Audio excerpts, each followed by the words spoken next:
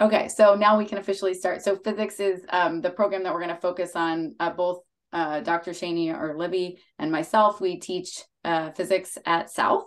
And so we're huge proponents of our program, but we also hmm. recognize that a lot of people come to us thinking they're going to be engineers or computer scientists, and then they end up switching to physics. So, or they continue on, but we're happy to have them in our classes while yes. they're pursuing their computer science work. So, okay, so do you want to take us away? Me? Sure. Yeah. Okay.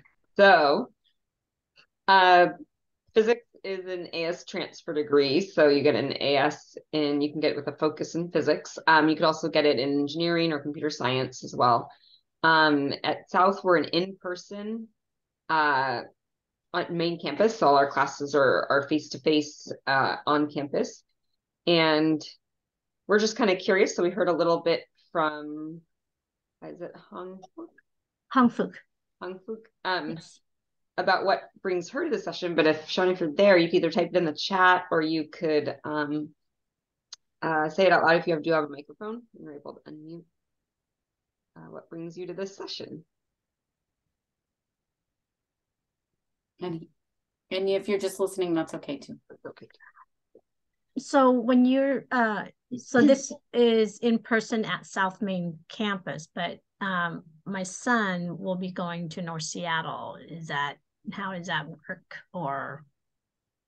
So uh they are separate colleges but people do sometimes take classes at various ones. So he could take it at north um and do his as and you can do an as with a physics emphasis at north. Um so that's totally possible but it is possible to take classes elsewhere too. And they're, I think they've made it so it's pretty easy to transfer those between the different institutions.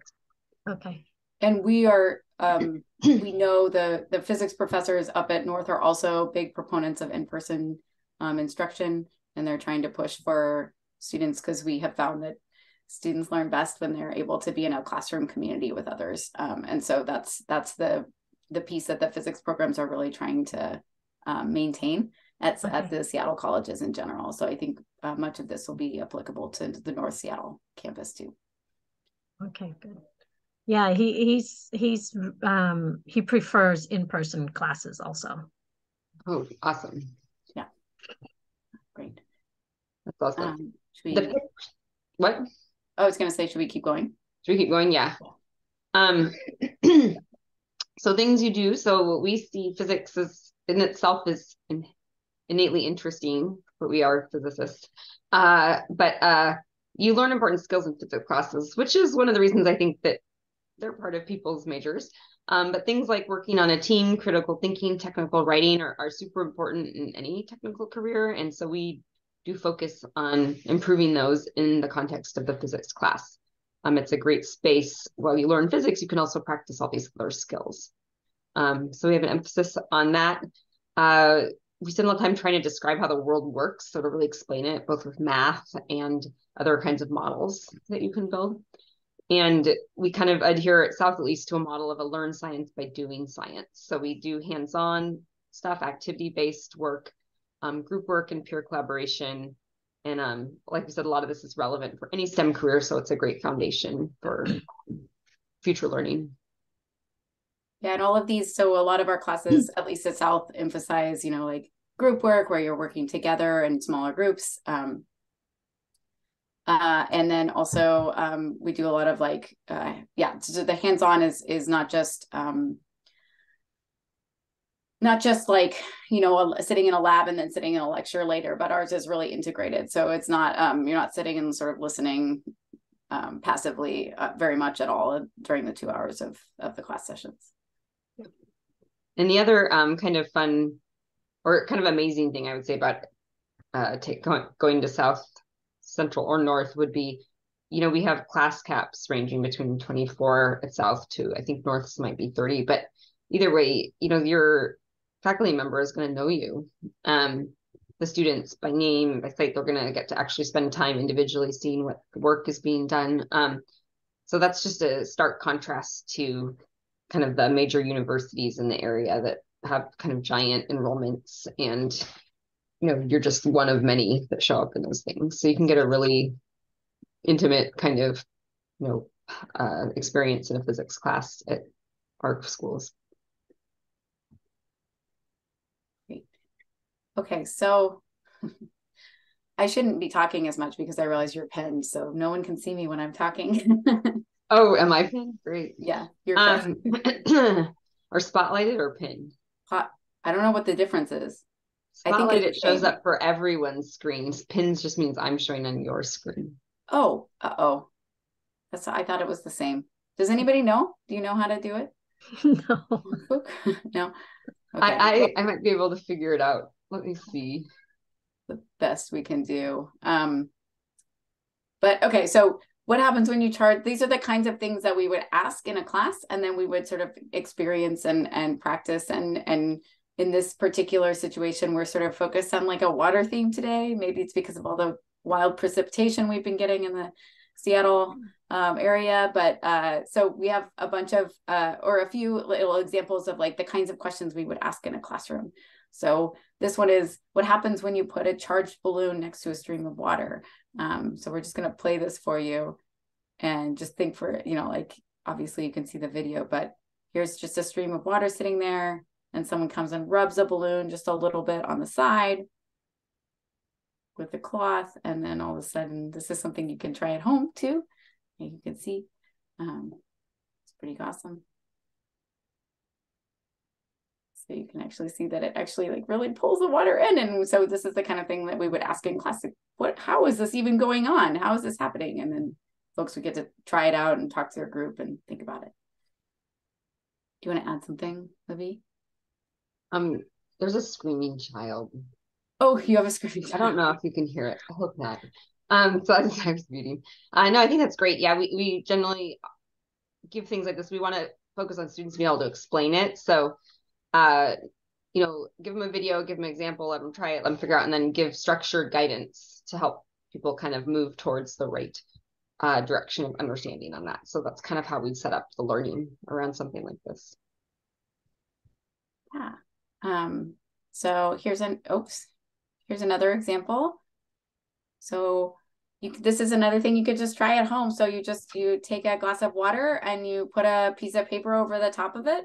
Uh, maybe like a thicker piece of paper, like a construction piece of paper or cardboard, um, something that maybe doesn't leak through right away. uh, and then you can just pick it up and turn it over and suddenly it will just stay like that. And so the question is, how is this happening? Right. This is the kind of thing that we just start to find all these amazing things going on just in the world around us and thinking about can we explain this? Can we understand physically what's going on? And that's the kind of thing we're focusing. And I just realized that we have somebody new in the in the room, so we're just sort of explaining some fun things that we get to think about in physics. Um, we just have a really good time in our classes, and actually, uh, Dr. Schoene and myself work together all the time and plan our lessons. And so at South Seattle, at least, um, this is the kind of thing that we work on a lot. And then here's another one. So we also have these sort of wild pictures, you know, of um, things that you could do in your room as well. If you have like a laser pointer that a cat would play with or something that you would present with at some point. Why does the light bend in the prism um, or in a glass of water or in uh, any sort of um, glass shape? and what does what makes the pencil look broken so sort of thinking about like as light goes through sort of translucent or clear things why does it do this why do we see things differently when they're going through objects like water and glass and now i have a screaming child behind me so i apologize. So now we both have screaming children. Does anyone um, have questions up to this point? No okay cool. Um, all right, I'll let you take this one. Okay.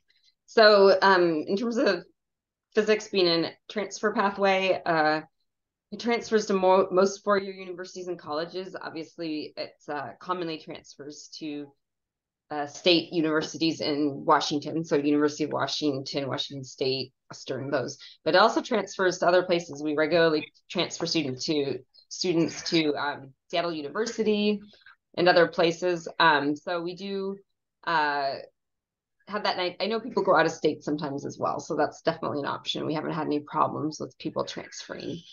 Over to those places. Um, in terms of a bigger picture program, we do often have uh, either actual undergraduate research opportunities or we can connect people to them. And we do do smaller scale projects that are kind of kind of have a flavor of that experience as well. So we we kind of provide some of that early on in the student's uh, educational experience. Uh, you can complete most introductory science and math requirements. When you transfer, you can be pretty close to being at the junior level or at the junior level. Um, oftentimes there's a few technical classes that you might need to take that are like sophomore level. Um, but you can get pretty far and do a lot of the math, especially um, required for a lot of pathways at our institutions. Um, and we have many campus resources that help as students are kind of moving along this pathway. So we have free tutoring that runs for hours, both face-to-face -face and online for math, science, engineering. Um, we have a free maker space and a great engineering instructor who helps uh, staff that space. And we have open study sessions with instructors and access to office hours. So we have lots of things to kind of help students in that journey. Um, we were going to try and run a poll and see if, what you were most interested in, but we don't know if we are going to be able to actually do that. Yeah, so we can't we can't run a poll in the breakout rooms. We found out, but um, we'd love for you to either just say it or um, since there's only three of you, you can totally just say it. But we could also put in the chat what you're interested in most at this time of these. Maybe it's physics um, because you're here, but maybe you're sort of pouncing around. Uh, I will say the other thing, just in case you don't know what a makerspace is.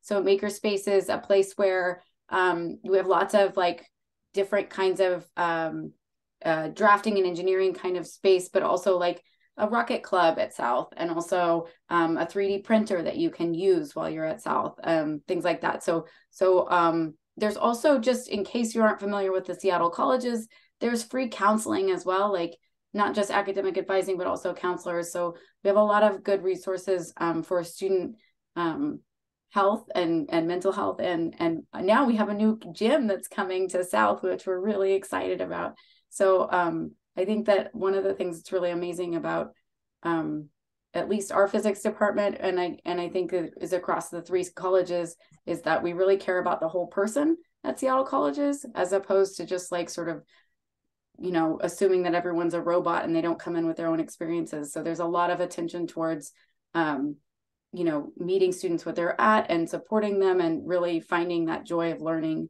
through the process um, and thinking about issues of equity and things like that um, in our both it structurally in the campus and also within um, STEM. There's a lot of um, there's a lot of focus on making those kinds of spaces um, better and improving them.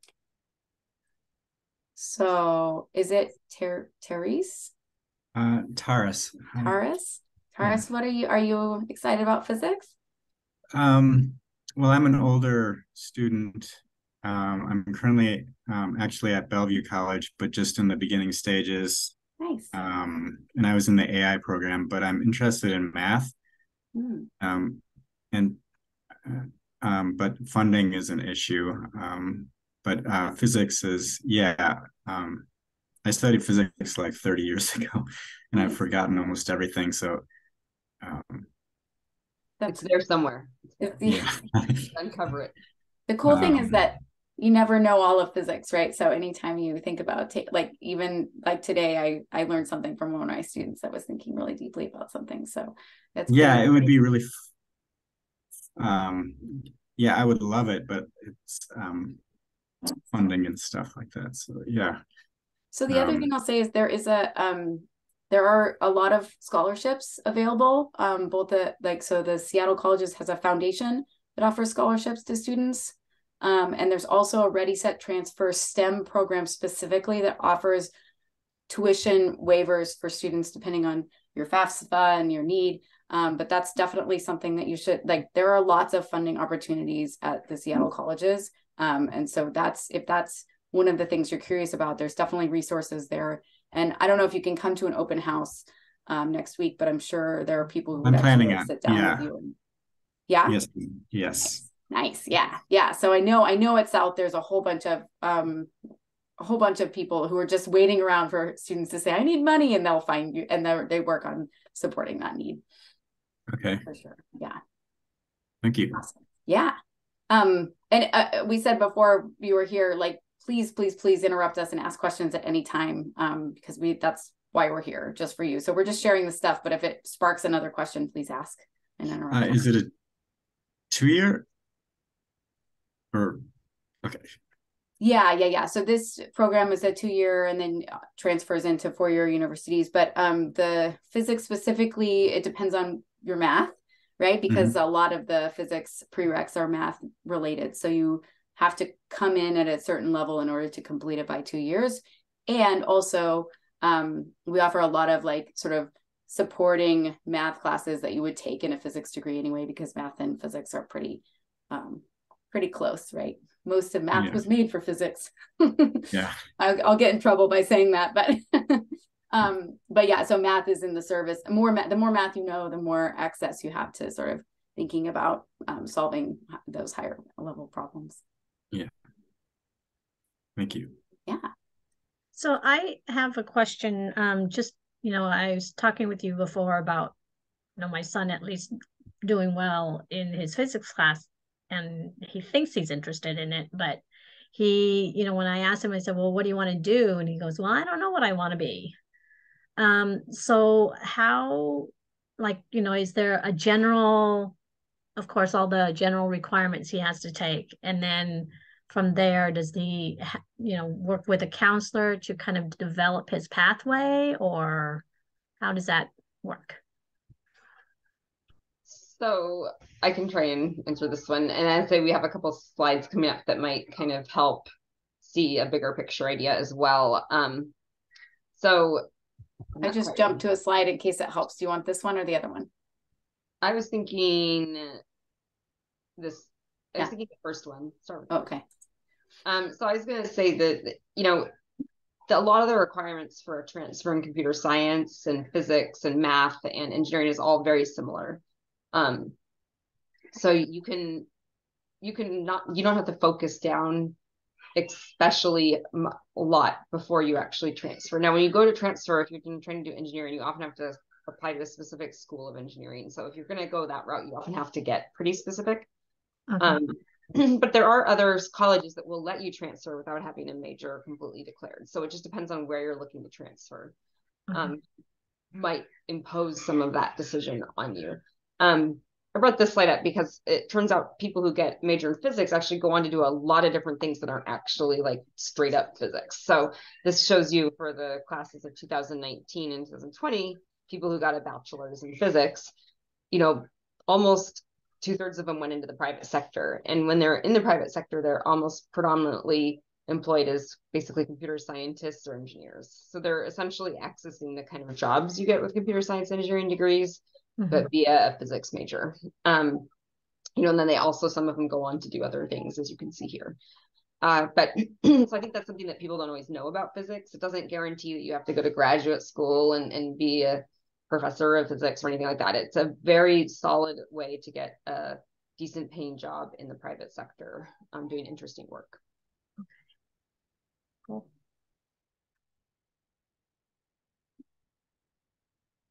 So this one also is recently uh, new data released by the American Institute of Physics, who tracks these kinds of things, and it shows salary ranges for physics bachelors. So the same group they were polling about what they went to do, um, and so those you know, who went into different areas that you saw in that previous pie. And so obviously, uh, I think it's the median 50% is the blue stripe. So 50% of people got jobs that paid in that range. The bigger bar is showing, you know, the kind of variety, wide actual range. Then there's a couple outlying things that show up, which are the little dots. Um, but you can see you know, people come out with a bachelor's degree and can get decent employment. Now, this is across the nation, right? So if you look at Seattle area, it might look a little different because mm-hmm. the cost of living is different. But so averaged across the country, this is what you see uh, physics bachelors coming out with. So it's it's a decent career path um, for for getting good jobs and kind of coming out with something without having to spend half your life in school. Okay.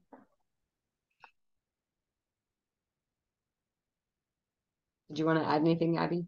Yeah, I was just thinking like it, to me it's such a funny thing to say, you know, private sector um what does that even mean, right? But it's like every like every job that you could think of that would um, that a computer scientist or a um, an engineer would satisfy it turns out that like people really enjoy and get excited about someone who's majored in physics because you have a slightly different pathway but you still have those skills. You end up using a lot of the same skills.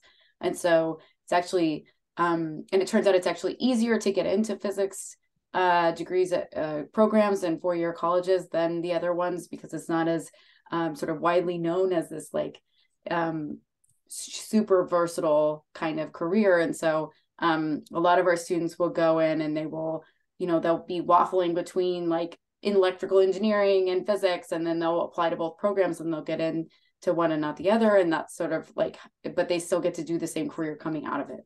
So there's a lot of um, there's a lot of work being done in physics education as well and thinking about how to make things more equitable.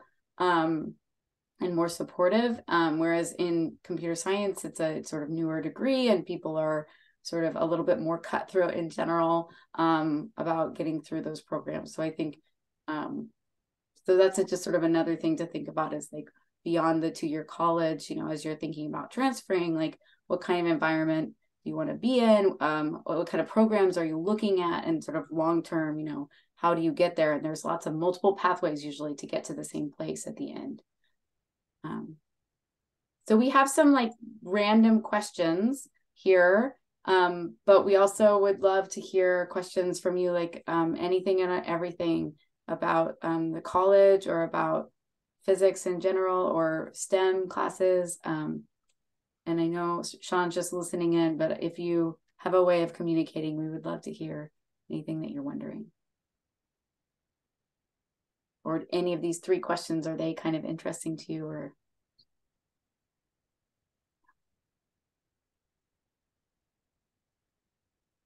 Um, if someone went in with the express intent of like uh, teaching, um, are there other extra classes uh, around that or um, it's like such a yeah it depends on which college you're going to.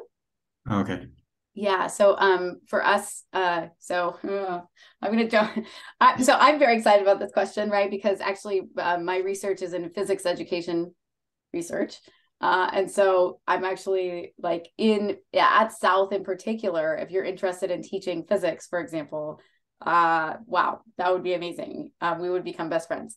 And and we would get to work together a lot because um, the research that i do is looking at how phys- how students learn physics and how to make it better right and so um, there's a lot of support for that but there's also actual education uh, classes you can take um, which is sort of a different side of things but usually for teaching for physics you'll need to get a physics degree as well and so it's kind of an interesting like you end up usually getting like a master's in education if you're going for K-12 teaching.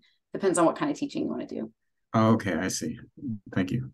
I'd also say that there there are some programs that I haven't spent probably as much time as I should have learning about, but like uh, Central Washington has a Teach STEM program that it's designed towards getting people in K-12 classrooms teaching STEM subjects, and they have a, a way to complete that.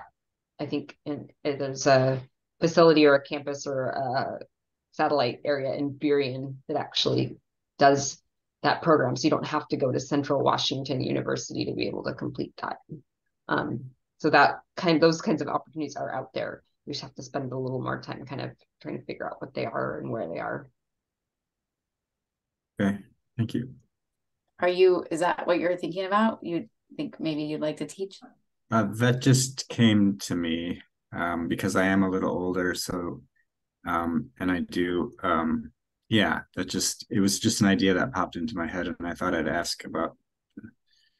Yeah. Yeah. And, um, another awesome thing that we have is um, we actually pay students to tutor um, at South. And I know, I think this is across all three campuses. Um, oh. So you once you go through some of the classes, some of the or if you're already past some of the math classes, and when you come in, you can actually get paid to tutor other students and to sort of get your get your foot in the door and like trying out the teaching kind of thing. And then we also have this thing called, ooh, I'm gonna say it wrong. I think it was peer navigators, but now it's tutor navigator. I don't tutor think navigators. peer navigator. which is when you can go into the classroom itself. And so we actually have, I have a tutor navigator coming into my um, physics two class uh, this quarter, and he just hangs out with us and helps students out and when we work on our small group stuff and just gets another another chance to get exposed to the ideas and also gets paid to come in and um, hang out with students so it's pretty it's really fun actually okay yeah i'll just and another way to get more money teaching is it's challenging at times, but it's a very rewarding career too. So I in some ways a lot more job satisfaction than a lot of people I know do. Oh, that's good to hear. Yeah. We're we're very biased though. so both um both Dr. Schoene and myself uh, got ended up getting PhDs. Um, and so we are sort of like academics, and we chose to go to South and teach at South because uh, we're really focused on the the teaching part of it um, and making making better learning happen. And so we spend so many hours just like analyzing like how did that go in our classroom? How do we make it better for the next quarter? Um, you know it's, it's actually like we have a running joke with the security because we're there sometimes really late at night just sort of planning and hanging out and thinking about how we would make things better. Um, and the security guards always come into our classes late at night and we have a little hangout you know it's like um, because like uh, we're there and we care we care a lot so like you know if if you're looking for a place where you want to be around people who are thinking about teaching physics all the time like south is definitely um we're we're obsessed in a good way oh wow that's good to hear yeah. yeah. Ah. um Hong Hong do you have yes. any more questions? Um, no, I don't. Um, wow. If I can get my son to listen to you too, he might get really excited about physics. yeah, I hope. I'm so. I mean, sure he wants to listen to the 45 minute recording of us all talking. like a wonderful Friday evening affair. Well, that's the thing is that, you know, I was really surprised. Um, he middle school was not, you know, um, very excited about school in in general. But um and then he he's like again in, in high school i think it was one, one of his middle school teachers um that kind of got him started in in science. And uh so he told me he did really well last quarter in physics. I'm like really? So a little little surprise from mom here that's great. That's great. He awesome. must have a teacher who made him excited too. Yeah it can make a huge difference.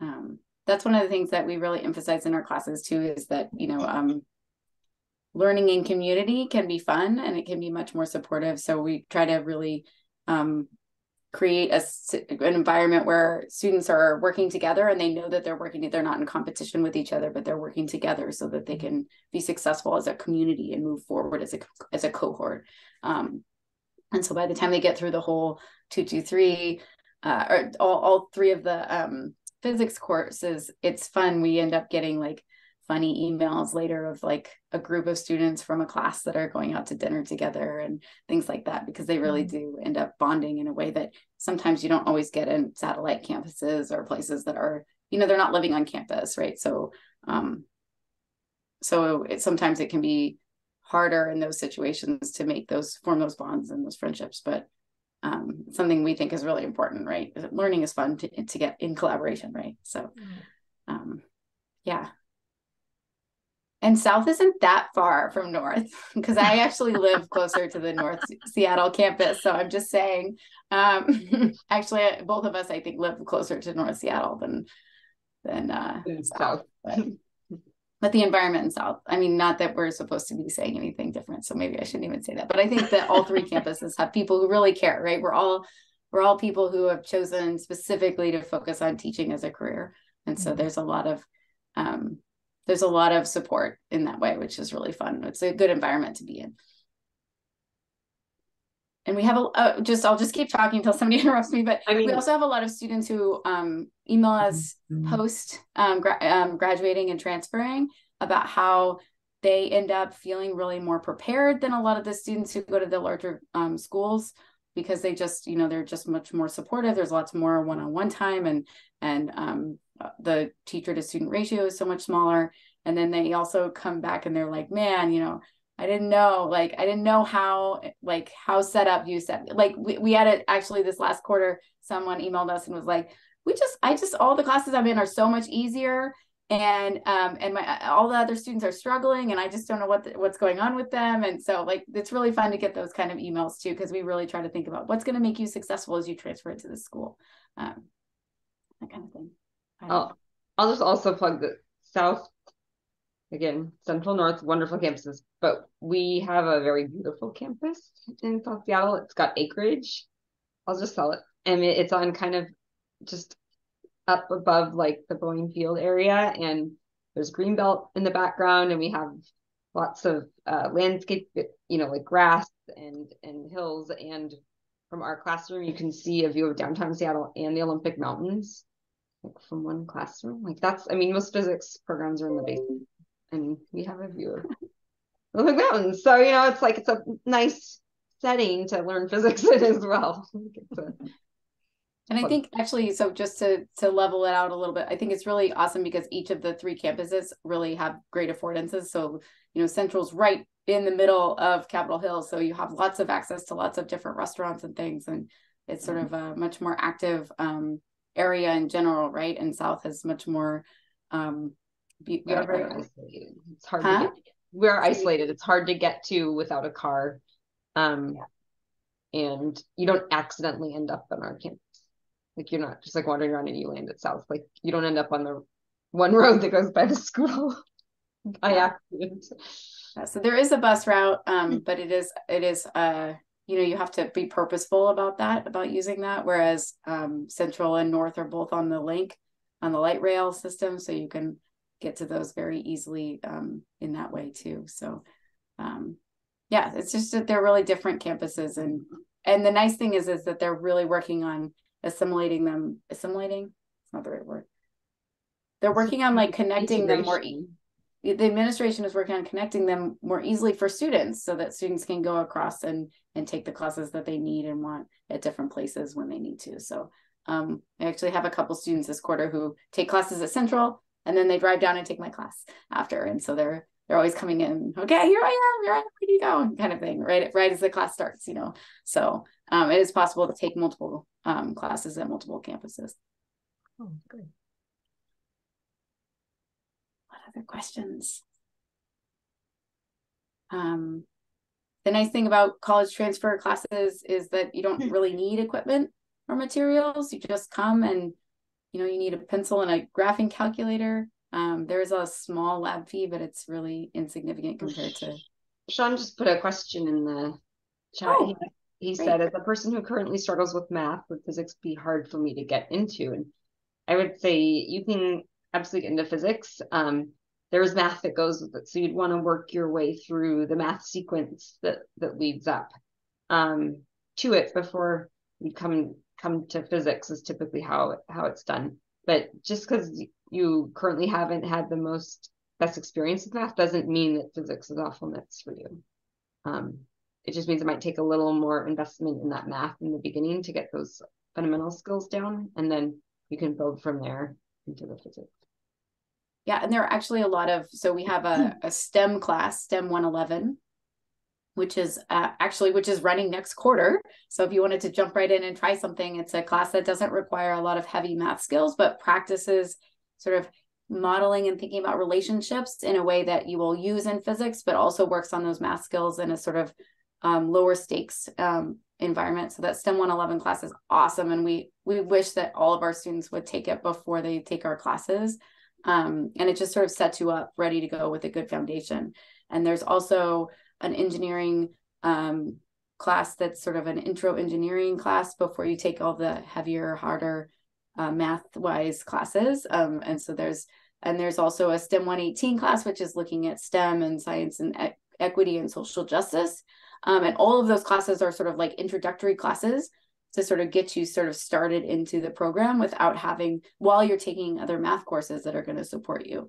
Um, and at South, because we're from South, that's why we keep speaking about it. But at South, we have some amazing math teachers who really, really want to support you. Um, and um, if you email us, we can we can share with you like some of our recommendations for um, sort of thinking about that sequence for sure. Um, but yeah, so there there are a lot of like a lot of really great math instructors as well. But the one thing I would recommend, um, and grain of salt because I'm biased about this, but I would recommend if you're thinking about taking math classes, is that you look for the ones that are in person um, as much as possible, or at the very least hybrid. Because what we found is folks who are taking the online courses in math have some pretty have some harder times in the physics classes when they come here. So um so yeah, so so thinking about how do I how do I uh, get into the classroom where I have full access to that instructor right there and I can just raise my hand or I can call them over in group work and say, I'm stuck, help me out. Um, and and knowing that you are entitled to that, right? Like that's part of the classes um, that you should be able to have that. Um, oh my gosh, and I'll just say one more thing that we also have the tutoring center at South and at the other colleges is super robust for this. So so Sean, if that's something like you should you can you can kind of live at the the free tutoring center and you have a, a math tutor or three there at all times, just kind of waiting around if you have a question.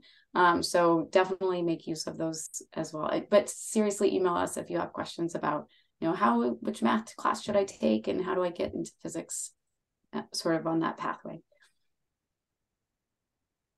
Um, thank you very much. And I guess if we go to the Seattle uh, South Seattle College website, um, there's a department page. Or, um... um, if you look up our names, so our names right there. Um, okay. We have information on our people pages. Um, we'll also